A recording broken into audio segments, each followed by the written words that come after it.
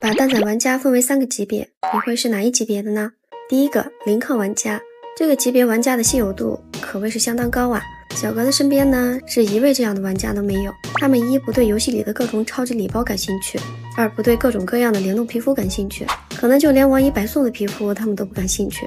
小哥想了想，他们对于游戏的乐趣，可能除了上分之外，也就没什么了吧。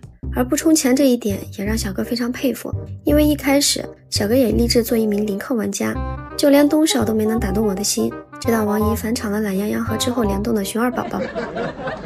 而对于小哥自己来说，虽然对游戏里的各种礼包道具，还有各种各样的联动皮肤也不太感兴趣，但还是会为了自己特别喜欢的皮肤买单，再多就是为了出抽奖视频去抽一抽金蛋皮肤，还有赛季盲盒这种性价比比较高的盲盒机。那跟我这种一样或者差不多的玩家，应该统称为微氪玩家。这类玩家呢，是会偶尔买一些自己喜欢的皮肤，但如果不是自己喜欢的，即使多可爱，都不会多充一分钱。第三类玩家，氪金大佬。这个级别的玩家想都不用想，只要是蛋仔出皮肤，那就是一出必秒。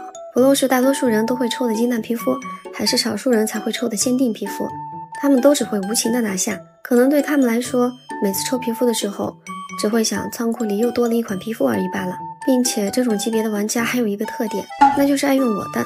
抽了那么多皮肤，打巅峰的时候还是只用裸蛋，也可能是抽太多皮肤，不知道到底用哪款好了吧。范特西就是那么多皮肤，每个皮肤都只是玩两三天，新鲜感就过去了。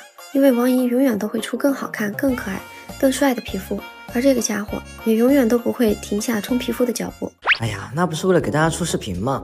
要不然那么多皮肤，哥的钱也是钱啊！好好好，得了吧，一天天的，又没说不让你充。好啦，家蛋们，以上三种级别的玩家，大家是哪一类型呢？不会真有传说中罕见的零氪玩家吧？